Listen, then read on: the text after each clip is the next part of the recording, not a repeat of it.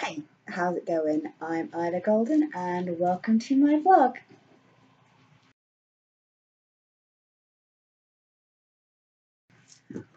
Alright, okay, so at the end of the last one I said that we would be going back to narrating stuff for this one, mostly because um, my latest book will be launching soon and I've just realised I don't have a promo trailer or anything ready for it. Oh god, got like less than a week to go and there's so much stuff that I probably should be doing and haven't actually thought about yet. I mean, as it is right now, um, I have a friend working on the book cover um, for me because he's awesome at Photoshop and I'm not so great at it.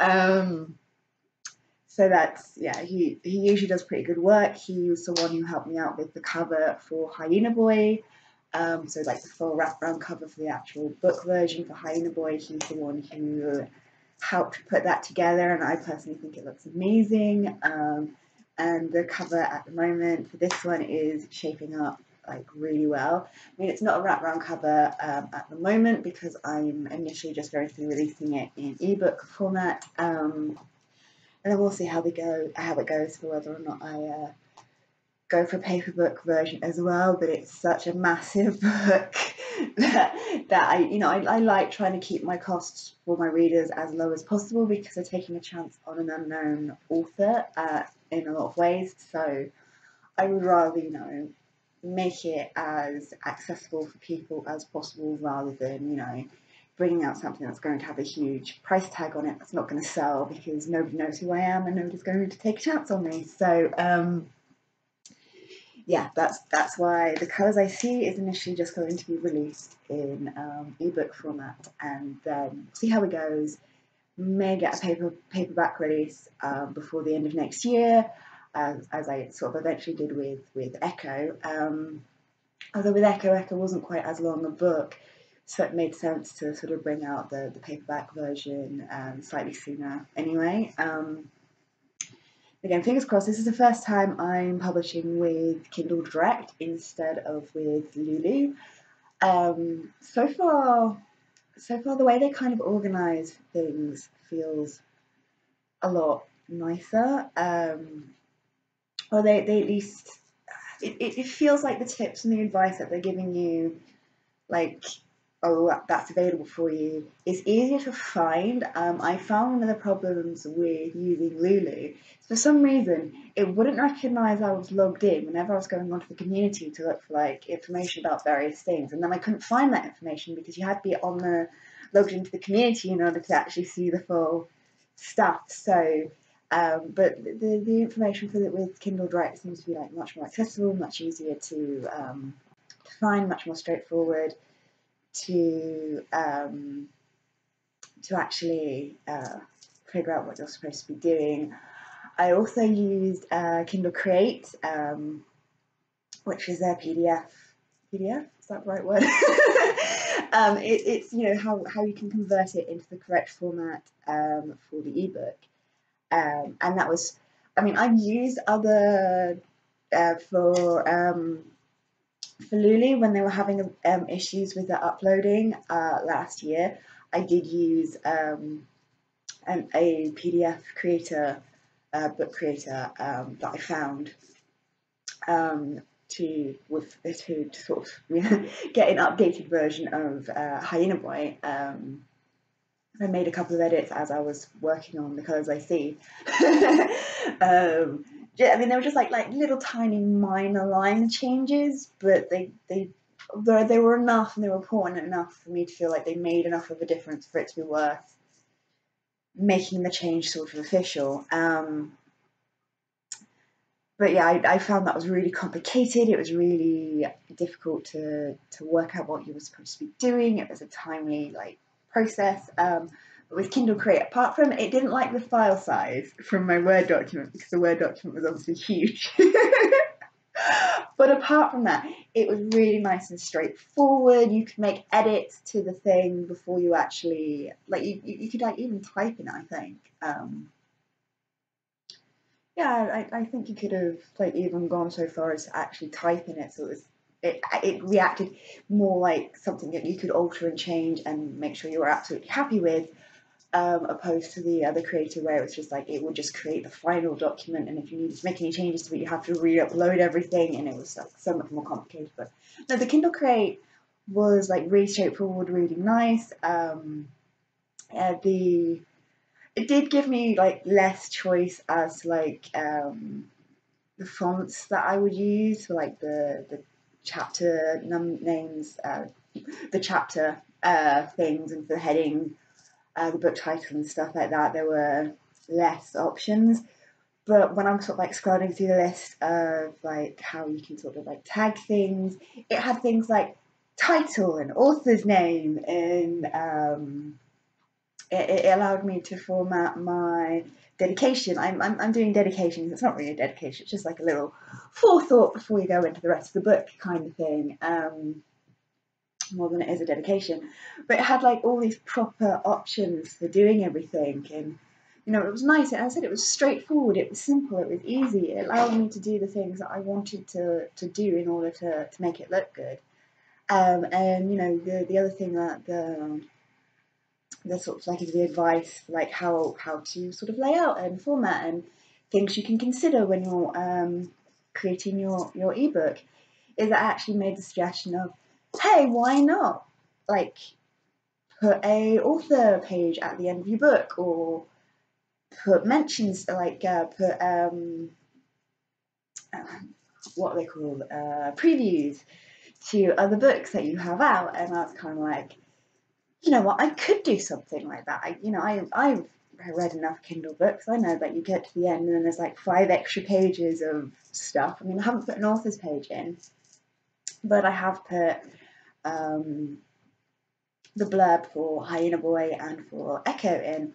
Um, so yeah, that, that felt good. That felt like a, a positive thing to sort of to sort of do, and it was a bit different from what I've done before. And yes, I can always sort of go and add those things in, but one of the things I found as I've, sort of, as I've been going through and and um, working on this process, um, one of the things I've, I've kind of been thinking is maybe I want to move Echoe and Hyena Boy over to Kindle Direct. It will depend very much on, you know, how things go with the colours I see first. Um, I don't want to move them, if, you know, if they're, if they're, you know, the fact that they are now sort of going to be linked to, to me and, and to, um, to the colours I see because I do have those insert pages at the end. Um, you know, that's uh, one way of kind of getting people to know about them, and they are already available on Kindle. That's the thing. They're, it's not like they're not already available on Kindle. It's just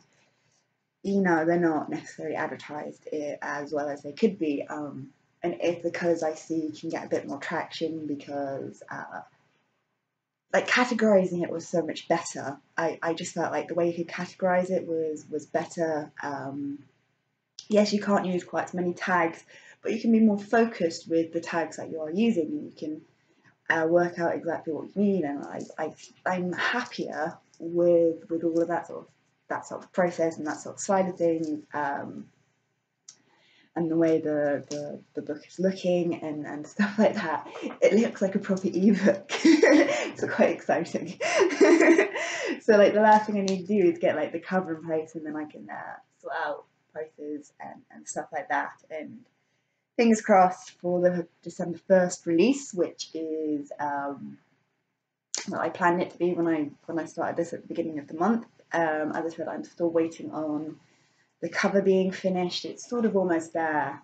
It, it's just sort of like me, it's like the title put on and my author name put on, and it, it is like really close to like being there at this at this point. Um, just those last couple of details that's what we need to go on and then I'll have a cover, and then I can, you know, sort out the final things with, with maybe enough time to go so I can drum up a bit of, of uh, pre-business and stuff for that, and then looking at the ways that Kindle Direct allows me to reach readers, because obviously I'm still an unknown author. Yes, I've got books out there, and I've, I've just I've heard that it is easier um, to get yourself noticed with Kindle Direct than it is with Lulu because nobody knows Hulu, Hulu, Hulu are. Whereas with Kindle Direct, it's affiliated with Amazon. Everybody knows what Amazon is. Everybody knows what Kindle is. So hopefully their ways of being able to promote and, and being able to get like the information out there is going to make things a lot easier. And um, I'm going to be able to to drum up a, a bit more interest. Um, but you know, touch touch wood and all that at the moment. I have no idea how it's going to go. There's like a final screen that way you can like set the prices and everything like that. I've not been to yet because um, I, I can't skip on when I don't have a I don't have a cover and I need the cover to go on first. and then I can skip onto that screen and like see the various um, release options that, that are sort of given to me and see if there's anything I can sort of do there. I, as I said, I have no idea what that final page is going to look like yet, whether it's just you can set a price, whether you can do like a initial special offer for this many days. Um, I'm hoping there's something like that because something like that would really help.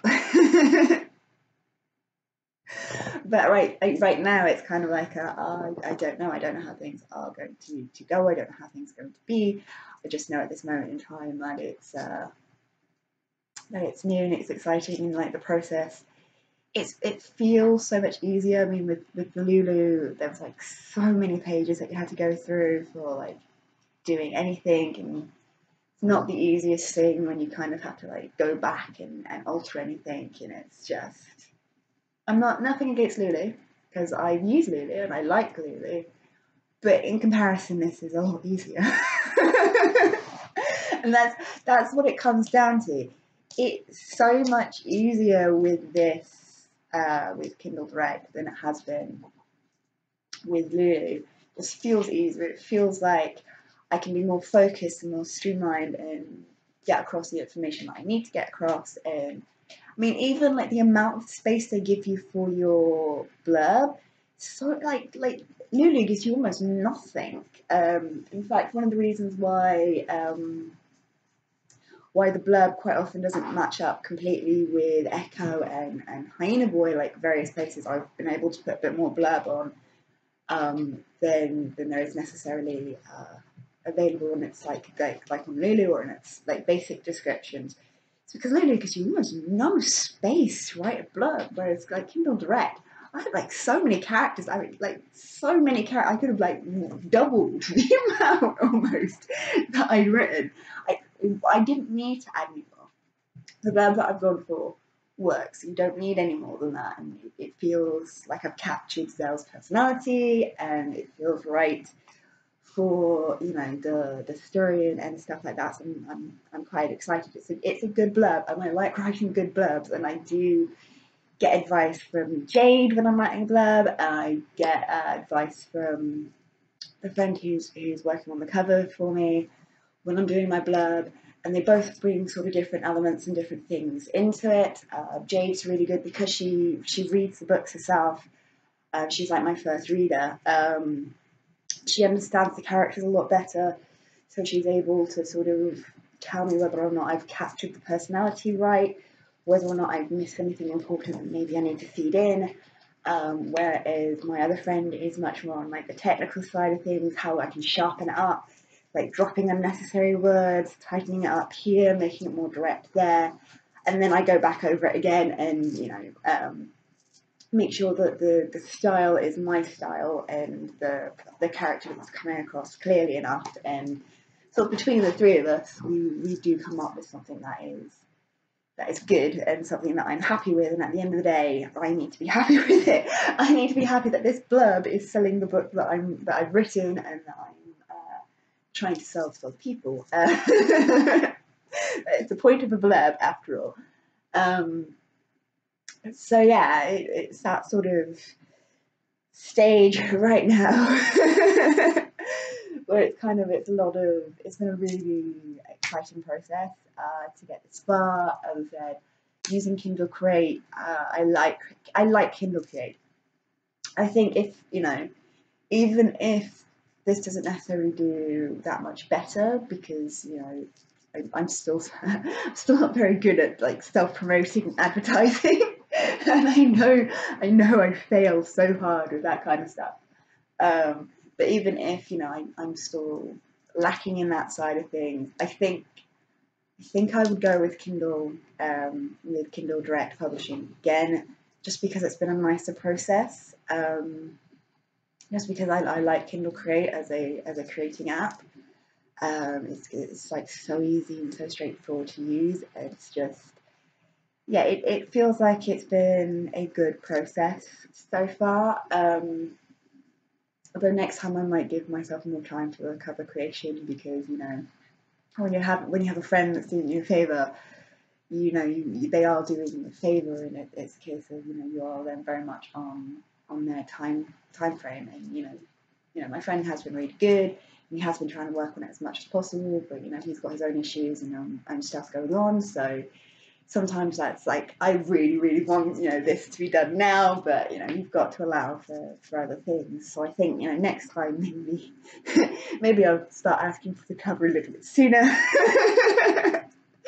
Um, because he always does such good work. He, he does. And you know right from right from the beginning um, I've always trusted him with, with my cover work. Um, maybe I mean I know I sort of try to forget that time forgets and um, time forgets and uh, zero conformity are out there because they need a lot of work. they need a lot of work to bring them up to my current standard, and I think at some point I will legitimately bite the bullet, retire those books, get them sorted, and then re-release them um, with decent covers because uh, the covers for both of those were ones that I kind of done myself. Um, I know with Echoe, both versions of the Echoe cover I did create myself, but I did create it with his help, um, with his advice, where he was sort of like, you know, yes, no, you could do this, you could do that. Um,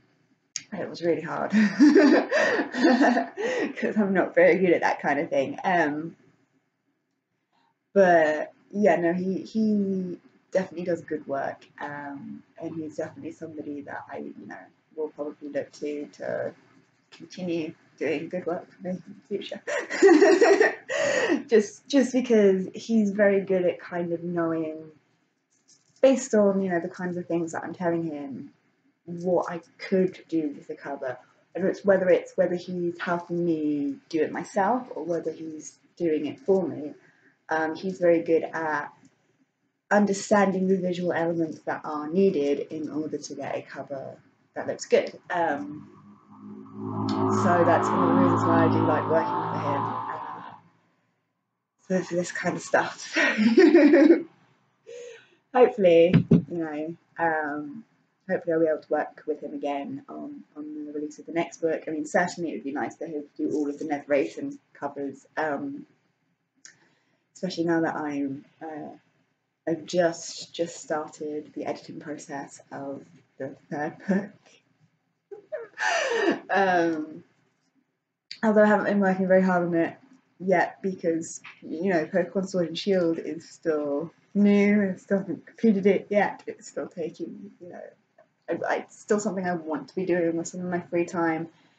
Um, especially when you know I've got you know so much else to sort of think about and, and, and going on. It's nice to just sort of take a step back and kind of go, you know what, I just want to relax and, and not think about all of this work stuff for a bit. um, so yeah, that that's going slowly at the moment, but you know, fingers crossed. Hopefully, the third book will be released before the end of next year, so that will have been one book a year for the last years, and then uh, that, no, this is the third year, four years. Then at that point, um, which isn't bad. It's not bad for for someone who you know took a, took time off and I could I could do better. I could release more because I definitely have a backlog that you know could get out there. Um, but it's uh, yeah, editing takes a lot of work and, and a lot of time, and uh, it's all about finding that time and, and finding that energy to sort of to sort of do it. And at the moment, all my energy is with the Never Rating series. Um, so it's just sort of sticking with the Never Rating series, and yeah, okay, it's slow releasing at the moment, but once I'm through the Never Rating series, then I can sort of like go, okay, right, you know, regardless of how well they're selling, I've got this backlog of uh, this back catalogue of books that I could be getting out there. Let's, you know, let's focus on that. Let's see what I can do with that. Um, let's see where I can go from here. So yeah, it's all quite exciting at the moment. It is exciting, you know, for me. and that's what matters, right? Um, right, okay. So next week, um, instead of just talking about the process, which is what this one has kind of ended up being, um, I'm going to talk a bit more about the colours I see and actually talk about the colours I see. Because the last few times I've gone to talk about the colours I see, I've ended up talking about everything else. Um, so yeah, next time I'll be talking about the colours I see, a little bit about the plot, um, and various things like that. Just to sort of, because it'll be like, it'll, it'll be the week of the release, so it will have released on the 1st, and it'll be you know, several days after the release, so it's still a good time to be um, dropping something that very relevant to to the, to the colours I see. Um, I mean, again, I know the ones where I talk about all this writing stuff, but my blogs don't do as well, but you know, I've, I've got to do it. I've got to sort of get this stuff out there, and hopefully, you know, eventually people will appreciate the enthusiasm I usually put into these um, because I do get quite excited talking about all the Reshley stuff, uh, especially the narrative stuff at the moment. Um, but as it is right now, um, I hope you guys have enjoyed this one. I hope you are looking forward to the next one, and I will see you next time. See ya! if you've enjoyed this video, feel free to check out some of my others, and if you like what you see, please like and subscribe. See ya!